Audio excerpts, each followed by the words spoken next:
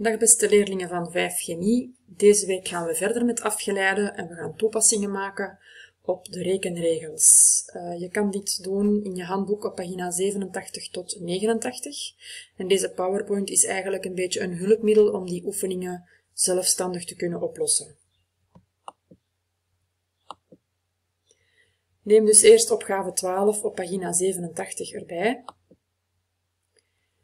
Ik geef hier ook de opgave nog eens. Zorg dat je de rekenregels kent voor je aan de oefeningen begint en zet het filmpje steeds op stil terwijl je aan een oefening werkt. Gegeven opgave 12, y is 0,5x tot de derde plus 0,5x min 1. En de eerste vraag is, bepaal de afgeleide. Dus nu zet je even het filmpje op stil en je berekent de afgeleide. En dan kunnen we daarna verder. als je de afgeleide berekend hebt, dan zou je moeten komen op afgeleide van deze functie is uh, eh, 0,5 maal 3, dus uh, eh, 1,5 maal x eentje lager tot de tweede, plus 0,5. En deze valt weg, want de afgeleide van, van min 1 is 0. Ja, dus 1,5x tot de tweede plus 0,5. Dan gaan we naar vraagje B. Bewijs dat het afgeleid getal van f in a steeds strikt positief is dus zeggen, bewijs dat dit altijd een positief getal is. Hoe kan je dat aantonen? Hè? Hoe weet je dat dit altijd positief is? En wat is daar de betekenis van? Wel, als de afgeleide altijd positief is, een positieve afgeleide betekent dus hè, een positief differentiequotient of een positieve RICO. Wanneer is de, positief, wanneer is de RICO positief? Ja, als uw functie stijgt. We zien hier ook als we die grafiek tekenen, dus deze functie invoeren in GeoGebra en we tekenen die functie, dan zien we inderdaad een functie die continu overal stijgt. Dus de afgeleide is steeds positief, de functie stijgt overal. Vraagje C. Bewijs dat de raaklijnen aan de grafiek van f in de punten P en Q met respectievelijke coördinaatgetallen min 1 en plus 1 evenwijdig zijn. Ik heb de grafiek al getekend in GeoGebra. Je kan de punten P en Q gaan aanduiden. Het eerste coördinaatgetal is de x-waarde, dus bij x-waarde min 1 heb je hier dit punt, P, en bij x-waarde plus 1 heb je dit punt op de curve Q.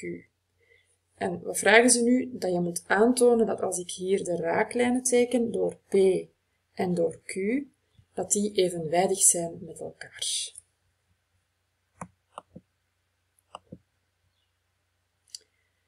Wanneer zijn raaklijnen evenwijdig? Denk daar even over na.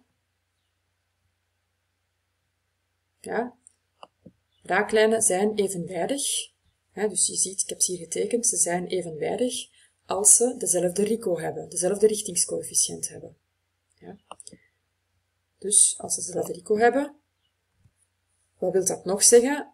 Als de afgeleide in x is gelijk aan 1 en x is gelijk aan min 1, als dat gelijk is aan elkaar, want we hebben gezien dat dit eigenlijk de RICO is. De afgeleide is de richtingscoëfficiënt. Dat wil zeggen dat als ik in de afgeleide functie 1 invul voor x, of ik vul min 1 in voor x, dat ik op hetzelfde resultaat zou moeten komen. En als dat zo is, dan hebben ze dezelfde RICO en dan zijn ze evenwijdig aan elkaar. Dus toon dat nu aan. Bij vraagje D um, zegt men, noem B het snijpunt van de grafiek van f met de y-as. Waar snijdt de grafiek de y-as? Hier, hè? dus dit puntje moet je B noemen.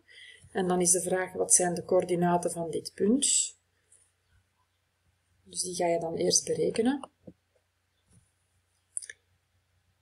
En dan is de volgende vraag, bepaal de RICO van de raaklijn T aan de grafiek in dit punt. Dus in dit punt moet je de RICO van uh, de raaklijn in het punt berekenen.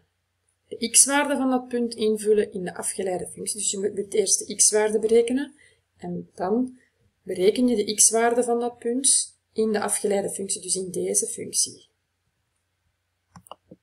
De volgende stap is Stel de vergelijking op van de raaklijn. En de vergelijking van de raaklijn, dat hadden we ook al gezien.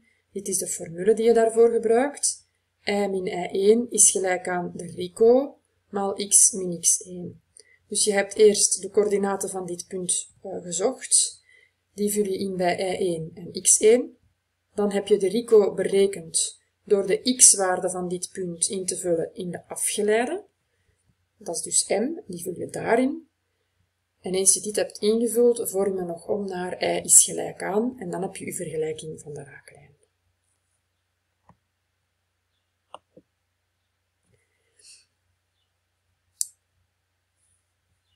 Nog eens uh, het voorschrift hier gegeven met de afgeleide en dan vraag je E is teken met behulp van ICT de grafiek. En ik heb het hier voorgedaan, teken de grafiek van de functie en ook de raaklijn in het punt B. En dan is de vraag, um, wat is B voor een punt? Je ziet dat B een buigpunt is en dat B het symmetrie middelpunt is van de grafiek. Deze slide heb ik toegevoegd om um, te tonen hoe je eigenlijk um, dit moet invoeren in GeoGebra. Dus als je dat niet goed weet, en dus dan voer je hier je functie in. Y is gelijk aan het functievoorschrift. De punten P en Q kan je invoeren um, tussen haakjes, hè, de coördinaten, de x-waarde en de y-waarde. Voor Q ook. Hè. Um, een raaklijn, dan typ je gewoon raaklijn en dan tussen haakjes het, dus in het punt en van welke functie. Dus ik wil de raaklijn in punt P op functie f. Dan voer je dat zo in en dan um, berekent uh, GeoGebra automatisch die punten en die tekent die. Dus dit was als hulpmiddel om zelf die grafiek te kunnen tekenen en die raaklijnen te kunnen tekenen.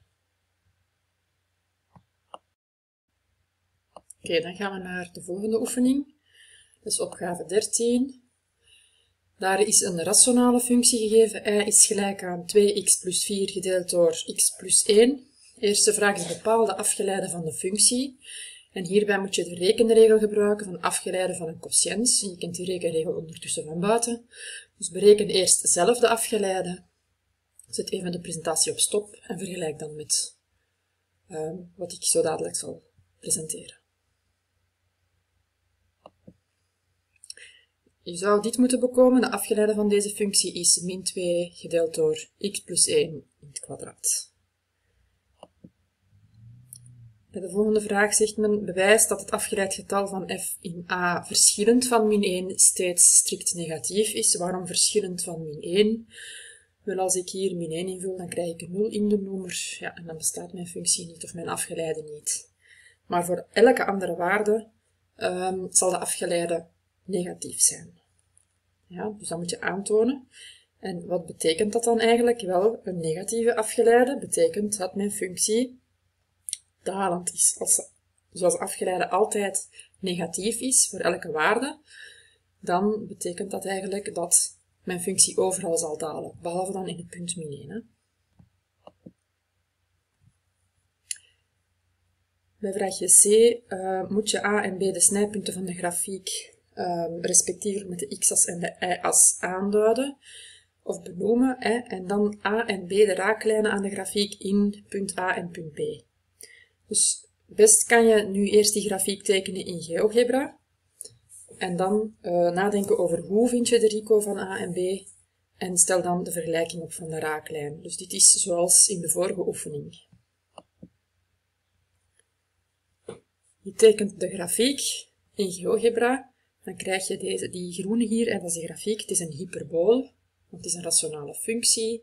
Je duidt punt A en punt B aan. Punt A vind je hier, snijpunt met de x-as en punt B is het snijpunt met de y-as. Je tekent de raaklijnen en je zal dan uh, de RICO berekenen door het afgeleid uh, getal in de x-waarde van A en in de x-waarde van B te berekenen. En dan de formules opstellen van de raaklijnen. Die zijn, dus dit zal je moeten bekomen bij de formule van de raaklijnen, want die staan hier nu gegeven. Ja. En dan is nog een laatste vraagje. Wat is de horizontale asymptoot en wat is de verticale asymptoot? Dat hebben we gezien bij rationale functies. Weet je nog, de horizontale asymptoot was a gedeeld door c, dus de coëfficiënten bij x delen door elkaar. Uh, y is gelijk aan de coëfficiënten van x delen door elkaar. En de verticale asymptoot, x is gelijk aan de nulwaarde van de nummer. Dan gaan we naar opgave 14, pagina 89. Daar is een derde graadsfunctie gegeven. Je moet eerst de afgeleide functie bepalen, dus doe dat eerst even zelf.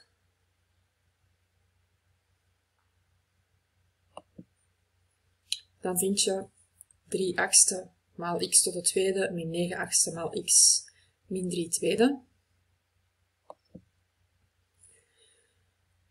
Dan moet je deze afgeleide functie ontbinden in factoren. Ontbinden in factoren, dat weet je, dat wil zeggen schrijf het als een product. We hebben deze formule gezien, weet je nog? ax kwadraat plus bx plus c kan je ook noteren als deze a maal x min x1 maal x min x2 met x1 en x2 de oplossingen um, na het berekenen van de discriminant, dus de nulwaarde die je berekend hebt met de formule van de discriminant. Als je dit uitwerkt, dan kom je op a is 3 achtste, dus je a is 3 achtste, maal, en je vindt nulwaarde min 1 en 4. Vraagje B. Geef een getal a waarin het afgeleid getal van de functie gelijk is aan 0. Dus de vraag is nu, voor welke x-waarde, voor welke x-waarde ga ik hier um, 0 uitkomen? Dat wil dus zeggen dat deze factor of deze factor 0 moet zijn. Daar heb je twee oplossingen, twee mogelijkheden. Geef een getal b waarin het afgeleid getal van f strikt positief is. Dus zoek een x-waarde die je kan invullen in de afgeleide. Sorry, ik moet even... Mijn muis is verdwenen. Ja, ik heb terug. Um, dus je moet een x-waarde zoeken die je invult, hier en hier. En die je invult, waarvoor je dan een positieve afgeleide krijgt. Dus zoek een x-waarde die je hier een positief getal zal geven. Hetzelfde, zoek een x-waarde of het getal c, waarin de afgeleide strikt negatief zal zijn. Dus die ga je ook vinden. Dus zoek een x-waarde waarvoor de afgeleide strikt negatief is. Oké, okay, dat gedaan hebt, gaan we verder. Vraagje C. T is een punt van de grafiek met eerste coördinaatgetal gelijk aan 4. Het eerste coördinaatgetal is dus de x-waarde.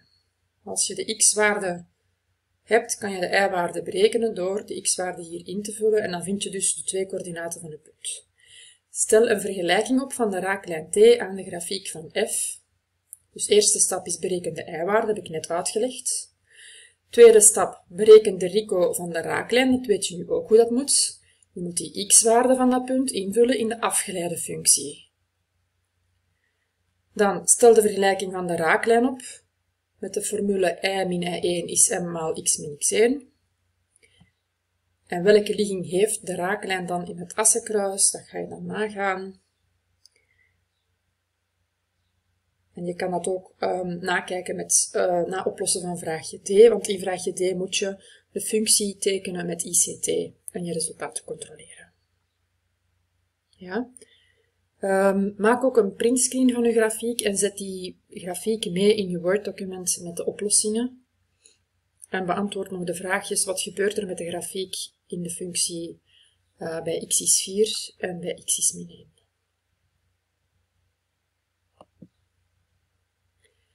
Dan gaan we verder met verband tussen afgeleide en verloop van een functie.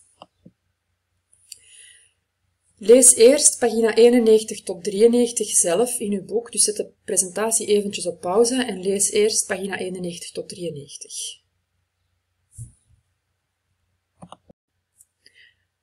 Als je pagina 91 tot 93 hebt gelezen, dan kunnen we volgende conclusies trekken. Als een functie stijgt in een bepaald interval, dan is de afgeleide van de functie positief voor alle x-waarden in dat interval. En omgekeerd geldt dus ook dat als de afgeleide positief is, dat dat wil zeggen dat de functie stijgt. Dus voor x-waarde waar de afgeleide positief is, stijgt de functie. Als een functie daalt in een bepaald interval, dan is de afgeleide van die functie daar negatief voor die x-waarde. Dus omgekeerd geldt dat als de afgeleide negatief is, dat de functie daalt. En als de afgeleide van een functie 0 is in een bepaalde x-waarde, dan heb je een overgang van stijgen naar dalen of van dalen naar stijgen. En met andere woorden heb je daar dan een maximum of een minimum.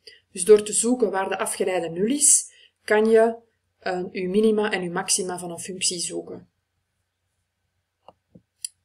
We gaan dit nu toepassen op een voorbeeld. We nemen het voorbeeld van in het boek pagina 92 en daar vind je een derde graadsfunctie. Van deze derde graadsfunctie bereken je de afgeleide functie En deze geef ik hier, hè, dat is dus 3 maal 0,25 maal x tot de tweede, min 2 maal 1,5 maal x tot de eerste, plus 2,25 plus 0 dan. En dan krijg je deze afgeleide functie. Wat gaan we doen? We hebben een tweede graadsfunctie. Dus de afgeleide van een derde graadsfunctie is een tweede graadsfunctie. Dat is altijd eentje lager. Hè? Ja? Dus uh, van een tweede graadsfunctie kunnen we de nulwaarde berekenen met de discriminant. Waarom gaan we de nulwaarde berekenen? Wel, omdat we weten dat we in de nulwaarde de minima en de maxima vinden.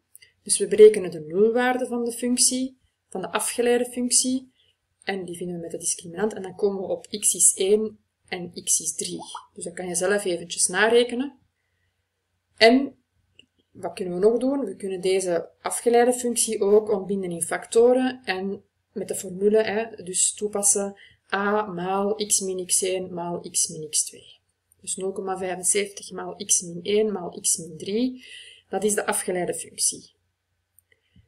We weten dus nu dat x is 1 en x is 3 minima en maxima van de functie zullen zijn. En nu kunnen we ook het verloop van de functie gaan onderzoeken door een tekenonderzoek te doen van de afgeleide functie. We hebben dus onze functie, de afgeleide van die functie, dat hebben we in het vorige scherm ehm, berekend. En we gaan een tekenonderzoek doen van de afgeleide functie. Dus niet van deze, maar van de afgeleide functie. Hoe doen we dat? Wel, we hebben hier een product van drie factoren. We schrijven die drie factoren onder elkaar. 0,75 is voor elke x-waarde positief, want 0,75 verandert niet, dat is een constante. x min 1, ja, teken is afhankelijk van uw x-waarde. Als x 1 is, ja, dan wordt de y-waarde 0, dus dan hebben we 0. Als x kleiner is dan 1, bijvoorbeeld min 2, ja, min 2, min 1 is negatief, dus hebben we hier een minnetje staan. En voor x-waarde groter dan 1, bijvoorbeeld 2, 2 min 1 is positief, 3 min 1 is positief, en zo verder, hebben we allemaal plusjes. We doen hetzelfde voor x min 3. x min 3 is negatief voor x-waarden die kleiner zijn dan 3. Als ik 3 invul voor x, dan krijg ik 3 min 3 is 0. Ja? En als ik dus iets groter dan 3 invul, bijvoorbeeld 5, 5 min 3 is positief. Dus dan heb ik positieve waarden. Mijn afgeleide functie is een product van die drie.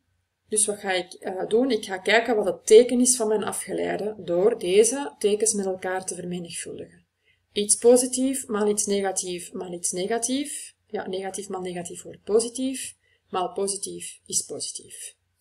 Dus uh, voor x-waarde tussen min oneindig en 1 ga ik dus een positieve afgeleide functie hebben. Als ik 1 invul in deze functie, dan krijg ik 0,75 maal 0 maal x min 3, dus maal 1 min 3. Dat zal dan 0 zijn. Ja. Als ik dan een waarde invul tussen 1 en 3, bijvoorbeeld 2, ja, 0,75 maal 2 min 1 maal 2 min 3, dan zal ik iets negatief uitkomen, of nog, plus maal plus is positief, maal min is negatief. Dus negatief. Hier bij x-waarde 3 krijg ik iets positief maal iets positief maal 0. Of nog 0,75 maal 3 min 1 maal 3 min 3. Dit wordt 0, dus het geheel wordt 0. En als ik dan iets groter invul, bijvoorbeeld 5, dan zal ik zien dat ik iets positief uitkom. Of plus maal plus maal plus is plus. We hebben gezien dat als de afgeleide positief is, dan stijgt de functie. Als de afgeleide negatief is, dan daalt de functie. Als de afgeleide positief is, dan stijgt de functie. Als je een overgang hebt van stijgen naar dalen, dan heb je een maximum. En dat is dus bij een nulwaarde van de afgeleide. En als je een overgang hebt van dalen naar stijgen, dan heb je logischerwijze een minimum, ook weer bij een nulwaarde van de, van de afgeleide. Oké. Als ik nu die grafiek teken, dus deze functie teken, dat is een derde graadsfunctie. Je weet dat die er zo uitziet, hè, met een maximum en een minimum. Ja, als ik die teken, en ik heb die een beetje uitgelijnd, zodat die waarden hier van die tabel ook overeenkomen met die grafiek, hè, dan vind je hier bij x-waarde 1, hier bij x-waarde 1, heb ik dus mijn maximum. Ja. Bij x-waarde 3 heb ik mijn minimum. En dan zie ik inderdaad dat mijn grafiek stijgt, hier, stijgt, dan daalt en dan terugstijgt. Dus je kan dat ook zelf in GeoGebra invoeren met deze um, functies, of met deze um, voorschriften. Oké. Ik laat het nog eventjes zien. Wat laat ik nog zien? Dus je kan de functie invoeren, dan krijg je die blauwe hier met dat stukje rood. Die blauwe, dat is je derde graads functie die je invoert. En je kan ook de afgeleide functie berekenen en die invoeren. Dus wat dat er straks al berekent, als ik deze functie invoer in GeoGebra, dan krijg ik een tweede graads functie, deze parabool. Wat is nu de link tussen die twee? Wel, voor x-waarde die van de afgeleide functie, uh, als de afgeleide functie positief is, voor die x-waarde, waar de afgeleide positief is, dus boven de x-as ligt, stijgt mijn grafiek. Ja? Voor x-waarde waarbij de afgeleide functie negatief is, hier onder de x-as dus, daalt mijn grafiek. Ja? En hier opnieuw, als ik x-waarden heb waar de afgeleide positief is, boven de x-as ligt, stijgt mijn grafiek. Dus hier zie je duidelijk de link tussen de afgeleide functie ligt boven de x-as, mijn grafiek stijgt. Hier ook, de afgeleide functie ligt boven de x-as, de grafiek stijgt. En het stuk waar de afgeleide onder de x-as ligt, daar daalt de grafiek. Dus je ziet duidelijk de link tussen de functie en de afgeleide functie. Dan moet je nog opgave 16 maken, pagina 95. Dat is dus een toepassing op het voorgaande. Wat moet je doen? Je moet de afgeleide berekenen en ontbinden in factoren. Dan maak je een tekentabel voor de afgeleide functie. Ja, dus met de factoren onder elkaar. Je maakt een verloopschema op basis van deze tekentabel en je bepaalt de x- en de y-waarden van maxima en minima. Dan mag je ook de limieten berekenen voor x gaat naar min oneindig en x gaat naar plus oneindig met rekenregels limieten. Dus wat we voor kerst gezien hebben, dus dat nog maar eens toe. Bereken de limieten voor x naar min oneindig en x naar plus oneindig. En je gaat eens vergelijken of dat overeenkomt met wat je in je verloopschema hebt bekomen. En de laatste stap is teken de grafiek in GeoGebra. Je maakt daar een printscreen van, maar je kijkt ook met je grafiek in GeoGebra na of je effectief ook hier um, de juiste, um, het juiste verloopschema hebt bekomen. Dat was het voor deze week. Zet je scans foto's van je oefeningen van pagina 87 tot 89 en 95 en de gevraagde sprintscreens van de grafieken in één Word-document alsjeblieft. Dus bundel je informatie in één Word-document en zet deze in de map van week 5. Dat was het voor deze week en voor vragen kan je zoals vorige week op woensdag terecht in de Google Meet. Veel succes en tot volgende week.